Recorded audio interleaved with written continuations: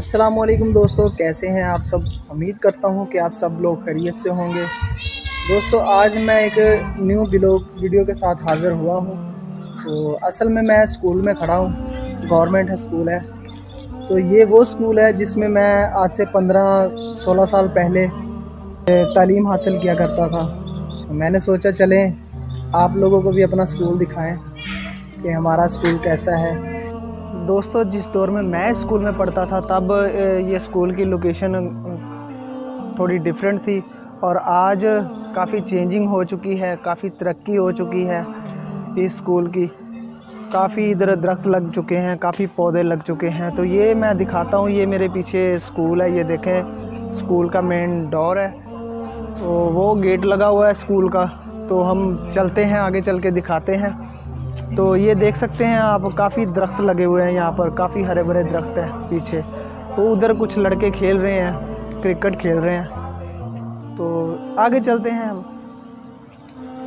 जी, ये दरवाज़ा है स्कूल का, जो जालीदार दरवाज़ा आप देख रहे हैं। ये बंद है, इसके इस तरफ़ भी दो रूम है और दो रूम इस तरफ़ है। तो ये जो इमारत आप देख रहे हैं, ये उस दौर की बनी है जब मैं स्कूल में पढ़ता था। तो ये देखें, ये स्कूल का नाम है। गवर्नमेंट प्राइमरी स्कूल दो सौ पंजी अहमद नगर, फैसलाबाद। ठीक है? तो इस तरफ़ आप देख सकते हैं, ये वाशरूम है।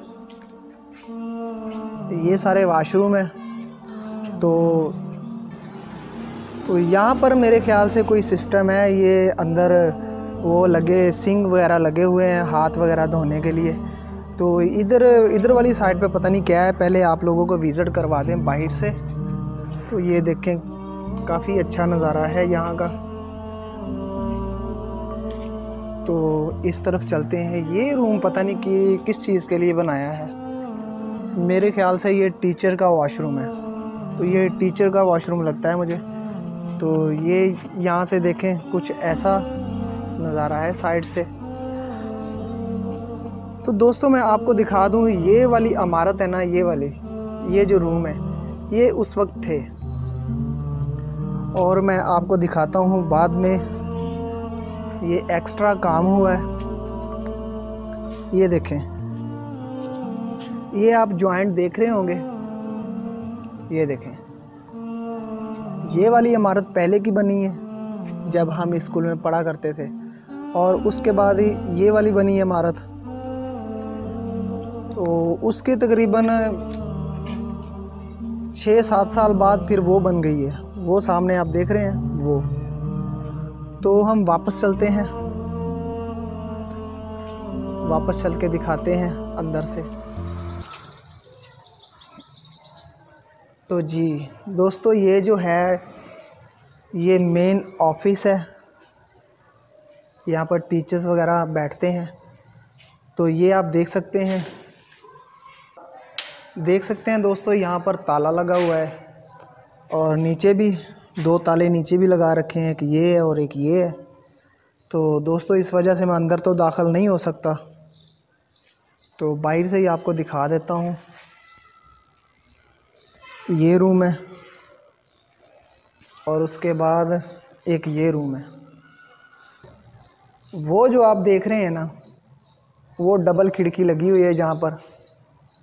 वो है माई क्लासरूम ठीक हो गया जी। तो वैसे इस रूम में भी बिठाया करते थे कभी कभार रूम वगैरह तो बदलते रहते थे।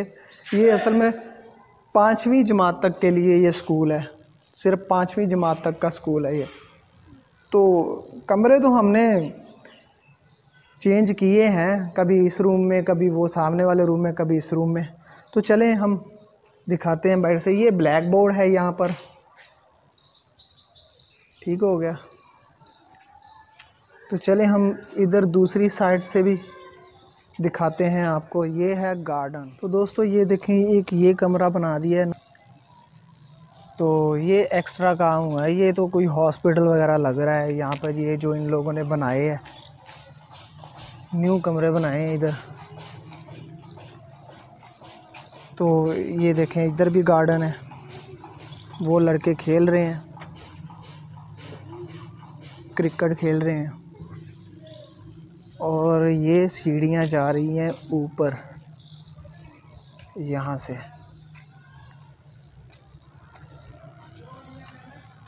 अच्छा मुझे दोस्तों एक चीज़ की समझ नहीं आती। ये पाँचवीं तक स्कूल है। ठीक है? तो इतने ज़्यादा रूम ये पता नहीं क्या हॉस्पिटल या डिस्पेंसरी पता नहीं क्या बना रखा है। यहाँ पर भी कोई क्लास लेते हैं या नहीं, इधर भी एक रूम बनाया हुआ है और दूसरी तरफ़ भी रूम बनाया हुआ है। तो ये था मेरा स्कूल जो मैंने आप लोगों को दिखाया है। मैंने सोचा यार चलें, हम अपने स्कूल की वीडियो भी बनाएँ, यो देखें। मानो बैठी हुई है अंदर, बिल्ली बैठी है। तो ये कांच वगैरह बिखरे पड़े हैं, काफ़ी तोड़ दिए हैं बच्चों ने। आवाम नहीं सुधर सकती। नुकसान कर देंगे। और देखो। आ देखो। अच्छा जी, यहाँ पर क्या लिखा है?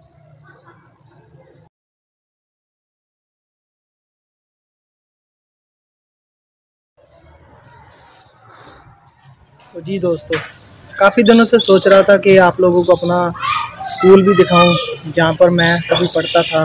आज से पंद्रह सोलह साल पहले की बात है। काफ़ी यादें जुड़ी हैं स्कूल के साथ हमारी। यहाँ पर बहुत अच्छे टीचर्स थे, जो हमारे मास्टर थे। तो सभी के नाम याद हैं आज भी मुझे। एक थे हमारे मास्टर थे जो अरशद साहब, वो वो इंग्लिश की क्लास लेते थे और एक हमारे सर अयास थे, जो कि मेरे टीचर थे। तो एक हमारे जो सर मौसम साहब थे, वो आज इस दुनिया में नहीं है, पता चला है। अल्लाह उनको जन्नत नसीबत फरमाए, अल्लाह उनकी मगफरत करे। तो एक हमारे टीचर थे मोहम्मद सलीम साहब और एक मखदूम साहब थे। बहुत उनकी याद आती हैं। कुछ तो ये दुनिया से चले गए हैं। तो यहाँ पर अब हमारा कोई भी जो पहले वाला टीचर था, यहाँ पर कोई भी नहीं रहा।